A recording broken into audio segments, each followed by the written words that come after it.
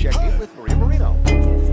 Thanks, Alan. Geno Auriemma said at today's shoot around that missing Paige Bueckers for extended time could actually be a good thing in the end for this team because others are learning and becoming more conscious of what they can do. I caught up with Paige this morning and she said her rehab is going well. She was in quite a bit of pain, unlike the ankle surgery she had over the summer, but now she's feeling better, bending the knee, and she has an x ray planned for Monday. If all looks good, she should be off crutches this coming week.